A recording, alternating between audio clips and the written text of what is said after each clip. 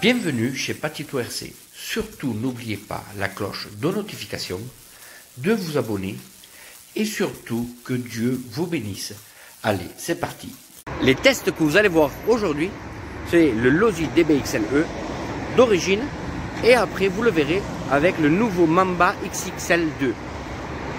Et vous allez voir la différence d'un moteur à l'autre. On va faire un essai classique avec les mêmes batteries toujours. Allez, c'est parti.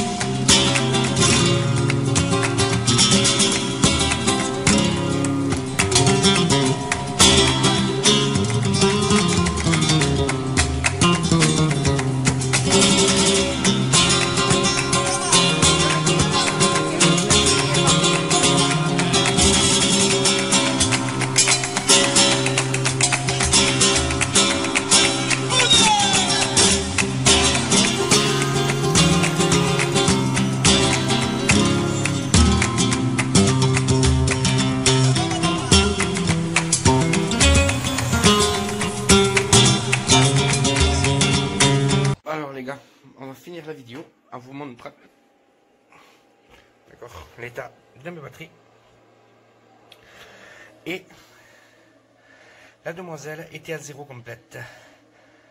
Car j'ai voulu tester un moteur de direction je me suis rendu compte que le récepteur ne fonctionnait pas.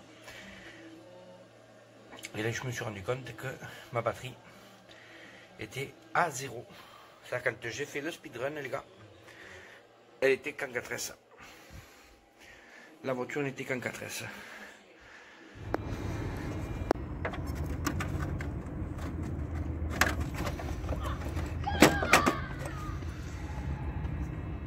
Alors les gars, on a mis des beepers pour pas que ça m'arrive comme la première vidéo que j'ai une perte à 0,10 télécommande.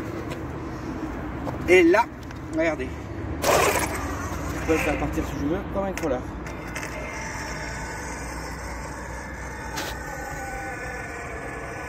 Alors, je trouve ça soit réel. Je vous promets que c'est réel.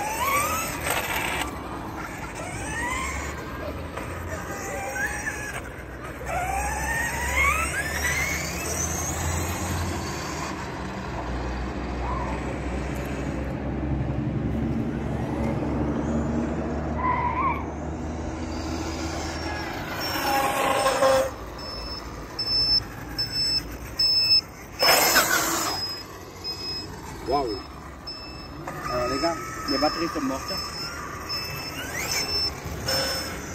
Mais regardez la différence de départ entre l'une et l'autre.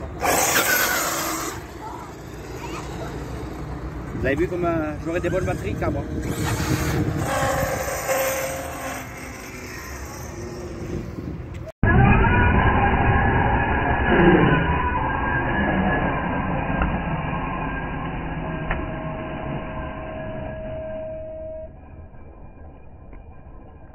Voilà les gars, alors je m'arrête parce qu'elle pipe trop. Et pour pas tourner après que juste qu'en 4S et faire trop descendre les batteries. Celle-ci est morte. Et un petit 66 km/h sans accélérer. Alors euh, vous avez vu euh, par rapport à l'autre avec le speedrun. Après c'est vrai que les batteries sont mortes. hein. Mais vous avez vu déjà la différence de puissance et de levée des roues? C'est limite équilibré. Et chaque fois que je faisais une grosse accélération, les batteries bipaient.